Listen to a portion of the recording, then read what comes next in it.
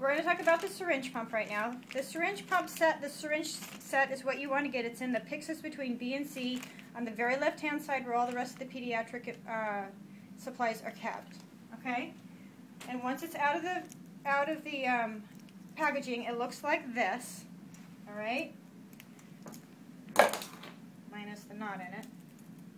Okay, it looks like so, all right? You're going to take your medication, whatever it might be, and you're going to connect it to the syringe that comes from the pharmacy, all right? So I'm going to turn it on.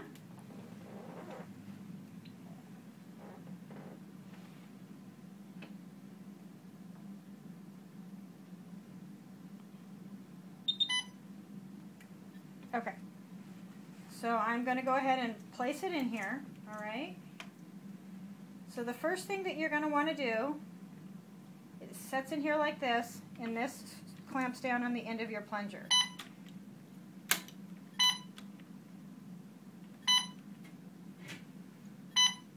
This comes over here like so.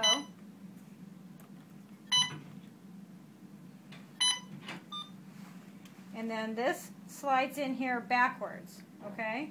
Right up in this little chamber right here, like so. Okay?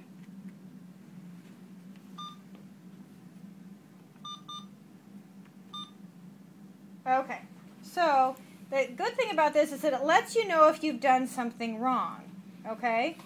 So apparently I have not applied this correctly because it's giving me these flashing lights. Okay, so we've troubleshot it. We just had to push this in a little bit more here in this portion here. So then it gives you all syringes. What size syringe are you using? This is a 10 ml syringe, so we're going to select that and confirm it.